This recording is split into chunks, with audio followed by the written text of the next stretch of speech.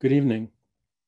I'm Philip Malebranche, and I would like to welcome you to the 2021 Homeless Persons Memorial Observance. Each year around the winter solstice, we come together to remember our neighbors who died in the past year without stable housing or from the trauma of unstable housing. We gather the names from service providers, advocates, peers, and community members and shortly we will recite each name as we virtually light a candle in their memory. I would like to acknowledge our partners at Urban Pathways. We also recognize the many allies participating in our program tonight as readers and giving eulogies, and our great client advocates who have worked so hard to put together a meaningful observance. We are made stronger through our effort and commitment.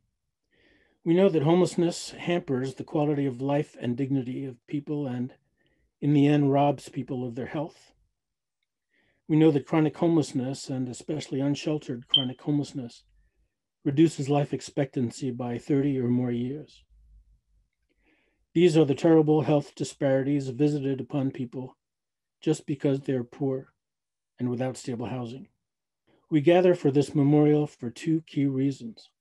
First, for the sad and solemn recognition that we've lost hundreds of our neighbors in New York City again this year. We pay tribute to these individuals and acknowledge their lives by reciting their names and lighting a candle that signifies a memory that will live on and burn brightly.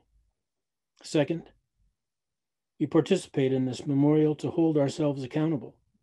It is our belief that none of the people we recognize tonight died because of a personal failure.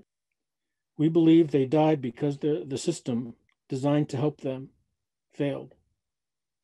Our hope in, is that each of us will recommit to raising our voices for the most marginalized, understanding that homelessness is a public health crisis that we are able to end. We hope that the list of names we recite next year will be much shorter and that we will be closer to realizing the human right to health care and housing for all. Thank you.